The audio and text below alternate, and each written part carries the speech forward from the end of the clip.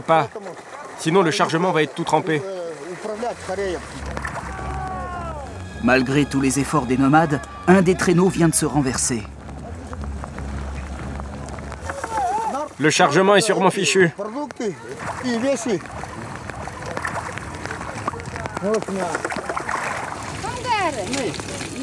Laisse l'eau s'écouler C'est vraiment pas de chance. On a tout le matériel ménager là-dedans. Tous les ustensiles et j'en passe. Malheureusement, ça arrive souvent, ce genre d'incident. Mais ça aurait pu être pire. Si un traîneau se renverse au milieu de la rivière, les rennes risquent de se noyer. Ils sont entraînés sous l'eau quand le traîneau chavire ou quand il est pris dans un tourbillon. Alors il faut vite aller dans l'eau avec un couteau pour couper toutes les lanières et les libérer.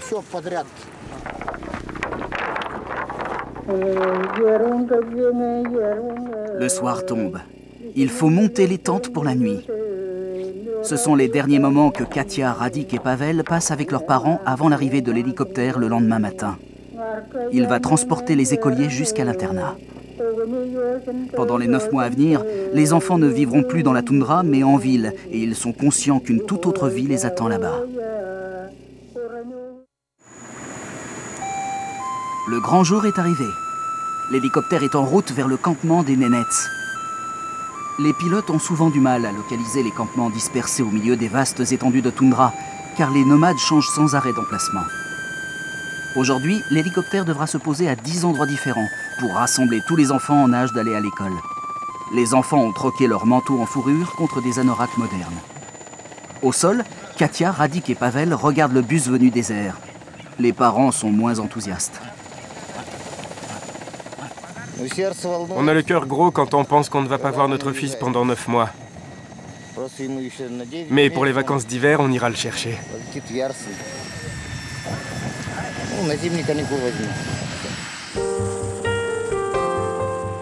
Ludmila, l'éducatrice, accompagne Katia, Radik, Pavel et les autres enfants et veille à leur bien-être. Après 4 heures de vol, l'hélicoptère rejoint la petite ville de Yarsale. Les tout petits, qui n'ont connu jusqu'à présent que la vie sous la tente, voient pour la première fois des bâtiments en dur. Le grand dortoir aussi est tout nouveau pour eux, et il leur faudra un peu de temps pour s'y habituer.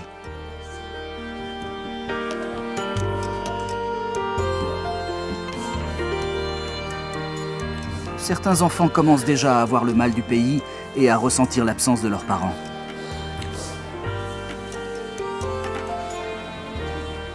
La petite Katia est triste.